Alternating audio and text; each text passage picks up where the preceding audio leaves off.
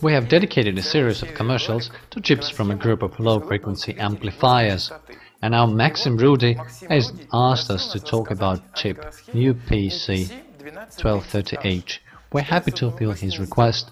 So chip UPC1230H is a mono amplifier with output power of 20 watts and a single power supply with a voltage range of 9 to 16 volts, the resistance of 4 ohms.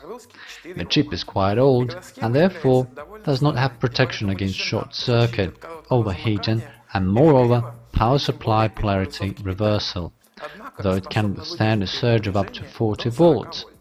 In order to assemble an amplifier we need cheap UPC1230H four electrolytic capacitors, two film or ceramic capacitors and two resistors of 1 ohm. When we assemble them according to the scheme, we get the amplifier like this. It should be noted that the manufacturer stated a smoothing capacity on power supply about 2200 microfarads.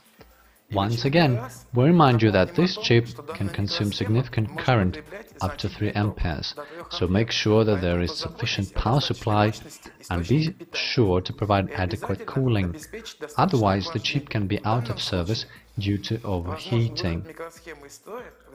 Let's apply an input signal and power to the assembled amplifier. As you can see, it works quite well. This chip can be used in a wide range of audio products, including car audio systems, for which it was actually designed.